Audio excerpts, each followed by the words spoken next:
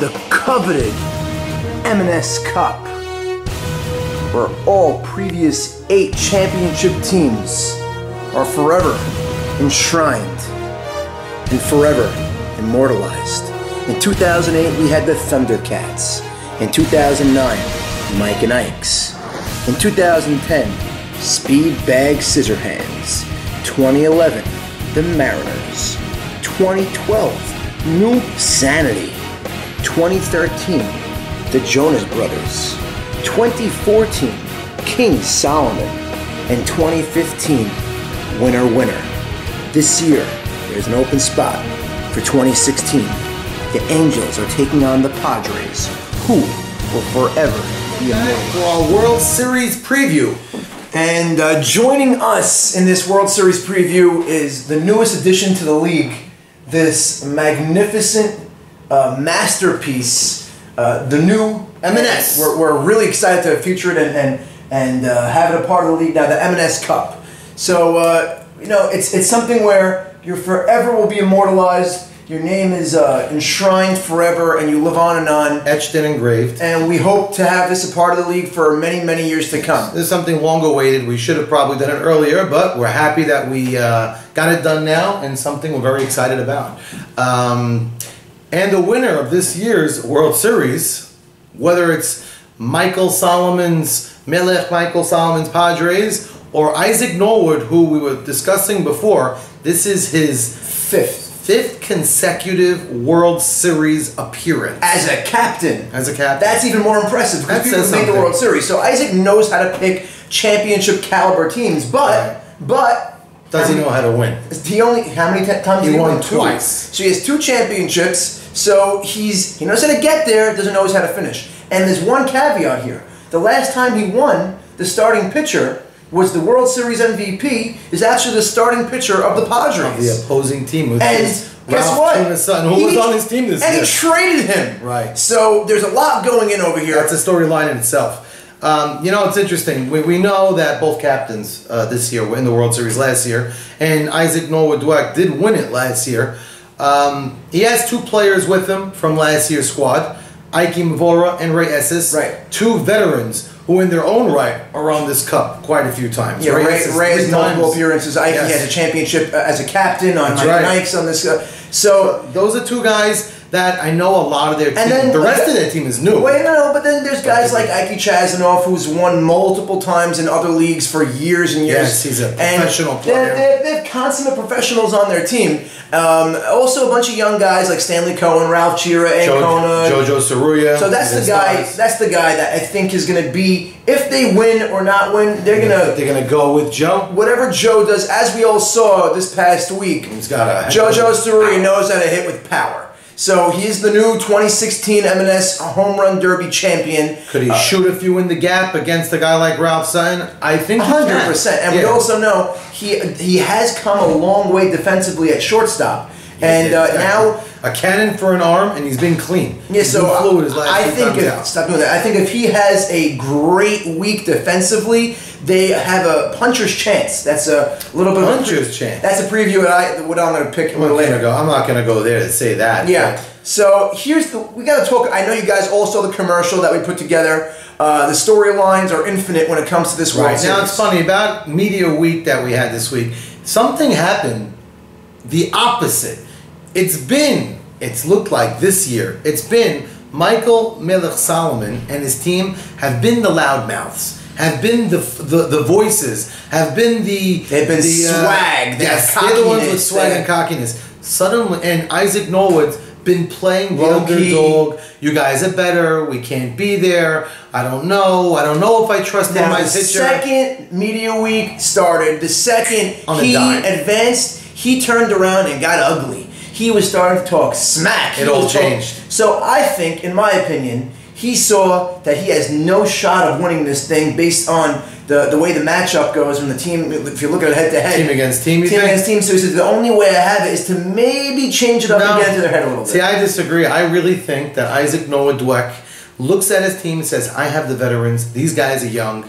I'm going to win this thing, and he's letting them. Meanwhile, know. hold on, we forgot Joseph Arati, who is on their team right now, also has like four championships in Brooklyn. Right, I mean- he also won the tournament a few times. he's So a phenomenal center fielder. He has yet to really shown much It's of funny, bat in our night I actually want to talk about that for a quick minute.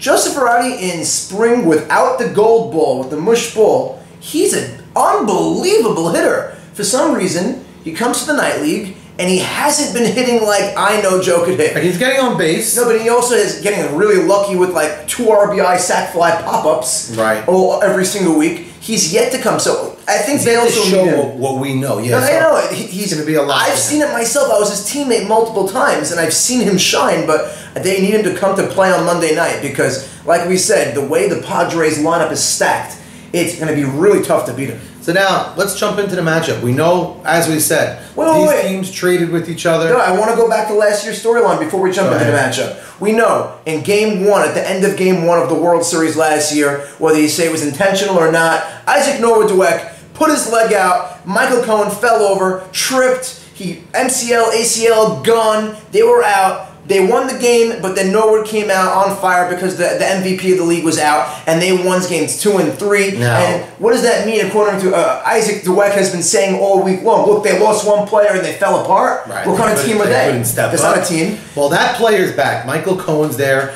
and I would say he's better than ever. He's uh, was better than he was last year. Right. Put a little bit more uh, maybe muscle on, and the way he played center field in that semifinals. So wait, they, they lost. That's how the World Series ended. Mm-hmm. And then all of a sudden, the revenge tour began. Michael Mela Solomon uh, drafted a team and then traded for the rest. He has almost an identical squad. Very, with, very with, close With improvements because Jackie Cohen has been playing stellar at shortstop. We'll get there. Right, and, and and now the the Angels somehow, some way, they found their way into the World Series because you know as the season was progressing, they didn't look like a World Series team, but then they came along at the right time. As always, they turned it on when they had to. They were one and four at one point, Right. one and three. It's like when the Miami Heat at the end of LeBron Wade years, they just coasted They just- until they had to, and then they would turn they the Jets to. on. Yeah. They start taking the five-hour energy drink. They found their defensive line. I think what we did is actually help them. We said they were old, they were slow, they lit were done. fire underneath them. And then all of a sudden they came, we're not old, we're still young, we still could compete with the young guys. And you know what? Guess what? Credit them, they did it. because they really did do it. Um, the home team in this World Series is obviously going to be the Padres. Number one seeded Yes, Padres. they're the number one seed, assuming they're going to take uh, home field for games one and three if necessary. Monday night, we can't wait. Um, it's going to be, as we mentioned before, Freddie Hittery, which is his first World Series appearance in our night league.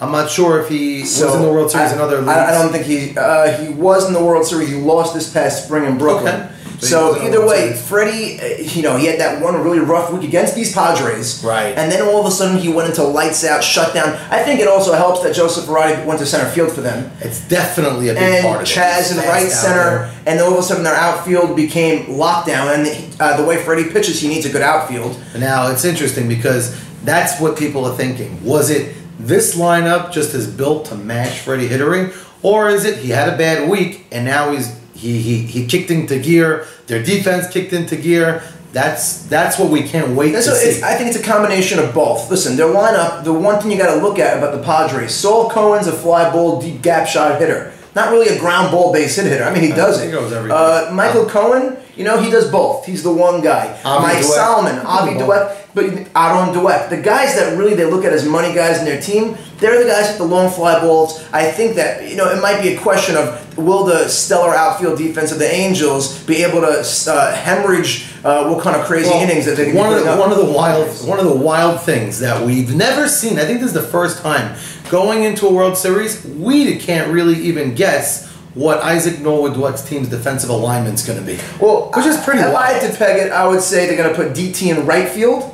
I think they're going to put uh, Chaz in right center field. They're going to play four across. I you think so. I think uh, Joseph Arati in left center. So this is the this is the grand question. Do you leave the middle open for an offensive I team think like so. this against Freddie Hittery? I, I think you have to do it. I think you have to do it. Or I think Isaac. I think what Isaac's going to do is play that game.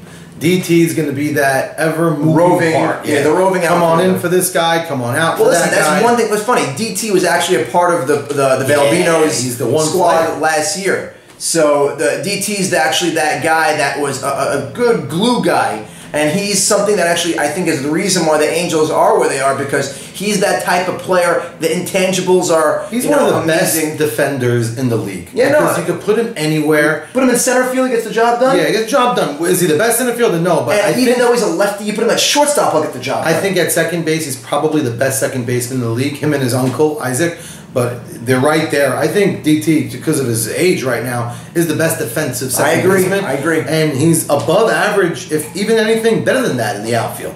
So he's a big component for this game. Uh, uh, again. Jackie Cohen, you brought him up before. I think he's an X factor. Yeah. and I don't even think just defensively. Defensively, he's been amazing. So mean, I think you know the count everyone- his errors on one hand. after two weeks, everyone was saying, "Oh, let, let's see him do it for the duration of his season." All right, did season's over, and the playoffs are over. We're in the World Series, and he he still didn't give a, have a hiccup. He had Does he? one gun, he had a, one or two bad throws in a Right, game, okay. straightened it out right away. Right. So one or two ground balls that weren't even such easy plays. And that's it. He and it's, makes- it's, it's it's softball. he makes everything that move. so he know? makes everything look easy. And listen, we watch enough softball to make these types of statements. We think Jackie Cohen defensively is a top three defensive shortstop in the Defensive. Syrian community right now. Saying that defensively, I think offensively he's going to come to play in this World Series. He's been up and down. He's been Jekyll and Hyde. He's been Jekyll and Hyde. I think against Freddie Hittery. Freddie, people didn't give enough credit to, but they're starting to do it now because he's in the World Series. I wonder what the Padres are going to do with their lineup because they had Jackie Cohen batting second, it didn't I'm- work. Then they put Avi batting second, they were flip flopping. It didn't make a difference because they made crazy comebacks Right, against won. the Brewers. And, and you know what? Everybody can say what they want about lineups. It always, by happenstance, it goes one way or the other that, that finds the guy. A couple of guys on the Padres that I'm going to really uh, give good shout outs to that are back into the lineup guys that have been hitting. Nemmy Katz. You know, Katz. Yeah, those are not lucky hits. Katz was uh, gone really late in the draft. Uh, people were down on him.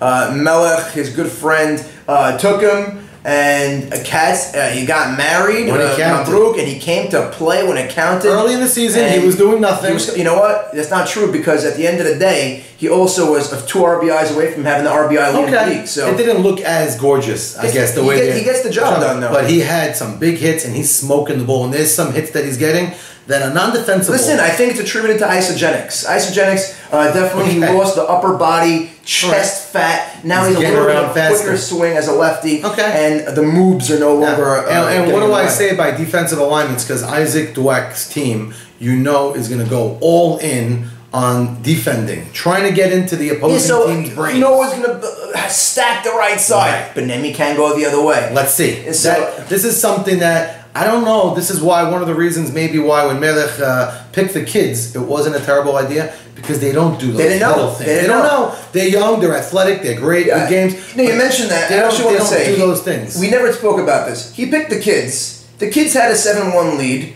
and the kids blew a seven-one lead. That's why you picked the kids. right. You could say he made a mistake. No, maybe he didn't make a mistake. They're young and. Because I can guarantee Yeah. you, if the Angels had a seven-one lead in Game They're Two, there's no shot in hell they're losing. Highly doubted that they're losing that. So- even though, by the way, it's funny you say that. Week one, they were up.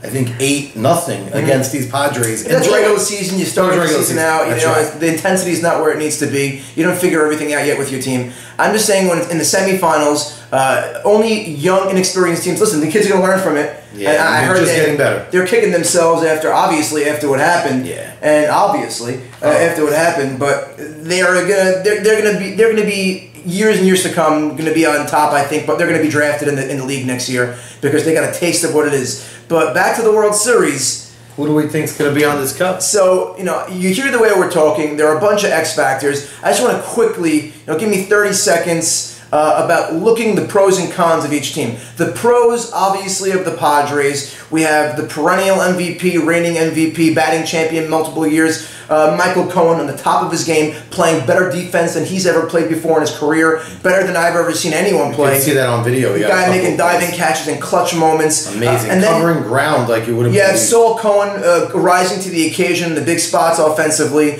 You have guys in the lineup that are not having great years, like Avi Dweck, who you still are feared. He's feared when he's up. Mike Solomon scuffling, still could get a big hit. You have guys like Jackie Cohen playing lights out defense. You have guys like Box coming up in big spots.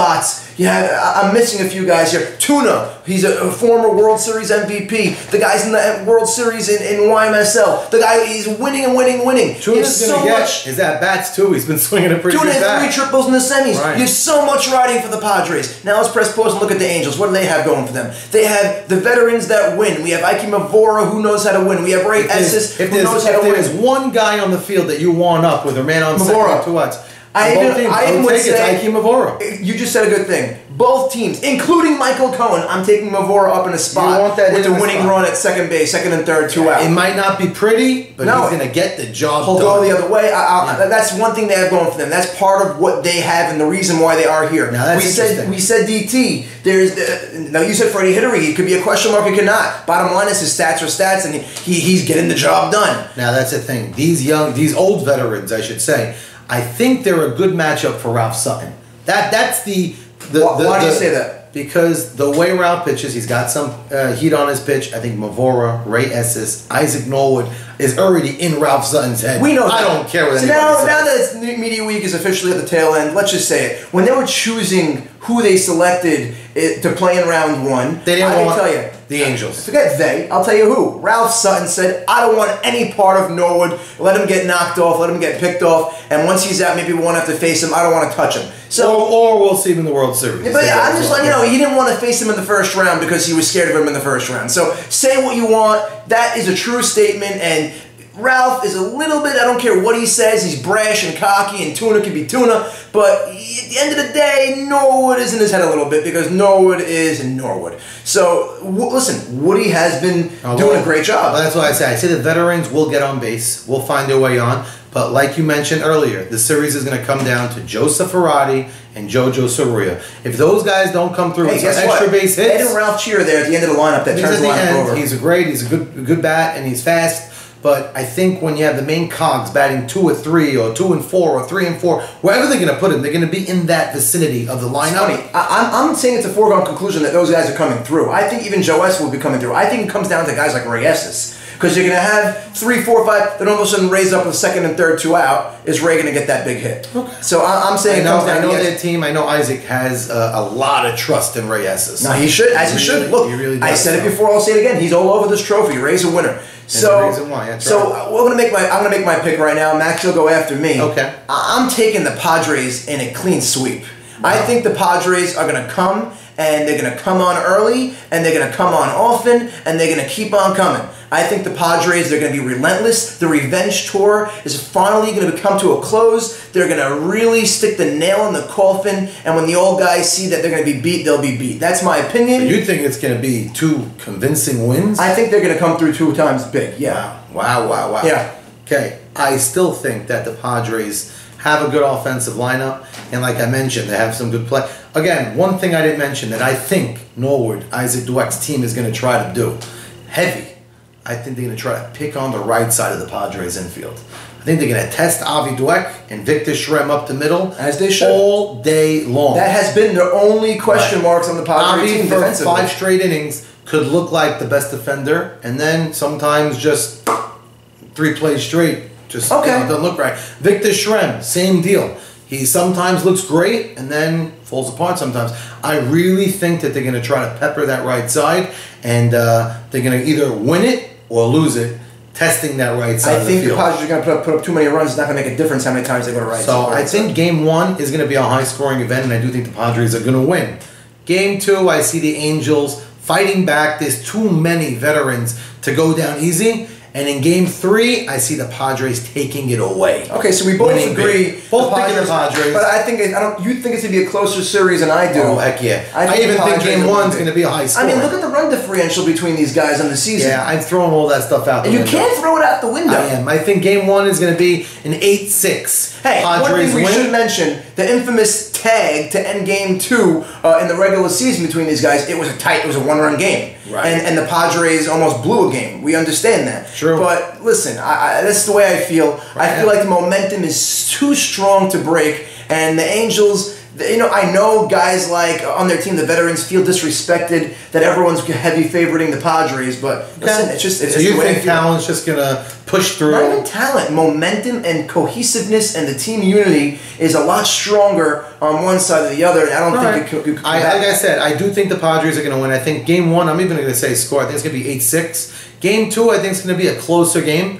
And uh, game three, I think Padres are going to take it Either away. way, it's going to be a lot of fun. Uh, Yeah, once again, I'm calling forward. a sweep for the pods. He's calling two out of three for the pods, and uh, it's going to be amazing. Let's see, let's see who gets enshrined on this On trophy. unbelievable trophy. Last tidbit Freddie Hittery got hit hard against these guys, but he did have a nine inning span of a shutout in that, in that doubleheader. And then he got rocked. And then he got rocked again. Because it, could it be they took their time off? That's where I think the big question's going to lie.